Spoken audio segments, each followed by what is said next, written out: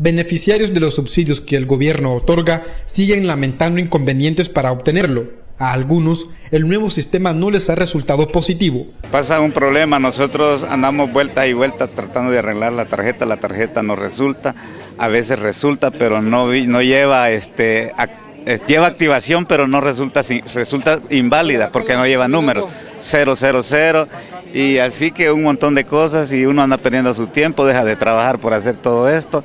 Sin el subsidio, sin el gas. Como no, estoy trabajando para comprar el gas, ¿va? La primera ocasión que vino, ¿qué le dijeron acá? Yo el 17 de diciembre. Entonces me dijeron que me lo iban a vender, con, el, con, el DUE. Vaya, me lo vendieron un mes. Ya el 3 de enero que fui, ya no. Me dijeron que ya no, no, no había subsidio con el DUE. ¿va? Entonces a eso vengo yo a ver qué, es lo que me dicen aquí, si, no sé, me van a decir, va. Porque lo necesito porque no, no estoy ni trabajando. ¿Y fue sorpresivo para usted de que de pronto se enterara que otra persona está cobrando el subsidio con su número de serie? Sí, quisiera saber quién es, va.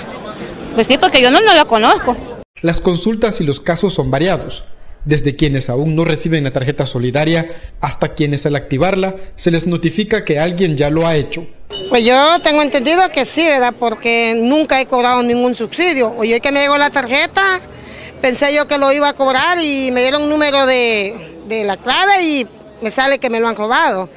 Y yo siento que allí no sé quiénes serán los, los que lo hacen, va, porque también muchas personas andan aquí diciendo que no le llega subsidio, va, o que se los han cobrado. Pero ¿cómo será eso de que uno con su número de DUI, otra gente va a imponer de lo que no es de ellos?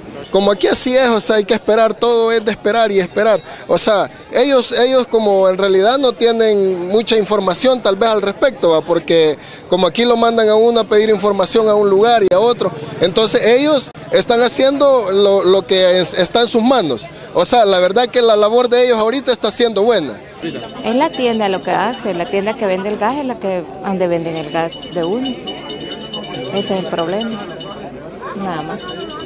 Ni modo, le está tocando comprar el gas a precio normal. Sí, sí. así es. La desesperación es tal que para algunos usuarios es preferible otra forma de cobrar el beneficio. Yo siento de que mejor fueran que poner un, pusieran un precio justo al gas y no con tanto de chonga que se hace de o sea, de 6 o 7 dólares, o 9 dólares, 10 dólares el tambo, va. Y no tantas vueltas, porque pueden imaginar tantos niños chiquitos que andan aquí hasta sufriendo por uno por querer lograr lo poquito del subsidio, pues. ¿Y hasta el momento qué le ha parecido la atención en esta oficina? Pues las veces que he llamado solamente me dicen que venga acá y las veces que vengo nunca puedo pasar porque está demasiado lleno. Mientras los trámites continúan, los usuarios no tienen más opción que armarse de paciencia y unirse a la fila para tener acceso a la tarjeta solidaria. Con imágenes de Jaime Gómez informó Luis Manegas, ATV Noticias.